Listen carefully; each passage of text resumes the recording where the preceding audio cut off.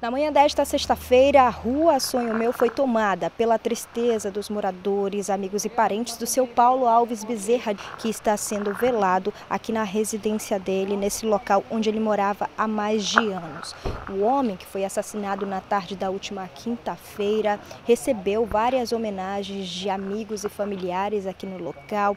Nós entrevistamos uma sobrinha dele que falou com a nossa equipe de reportagem e deu detalhes sobre essa essa notícia na qual receberam. Estávamos em casa, cada um nas suas casas, e ele, como de costume, tinha ido trabalhar, né? Tinha voltado há pouco tempo a trabalhar. Ele teve bem doente, estava se recuperando. E foi como quando aconteceu, né?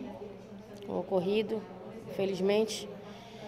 E ao receber a notícia foi só tristeza mesmo, porque não tem nem palavras para descrever o que sentimos.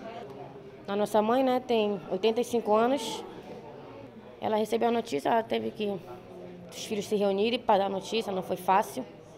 Ela esteve aqui na, na madrugada, ficou aqui ao lado do filho. E ela gritava querendo ir no lugar dele, que era para Deus ter levado ela, que está idosa.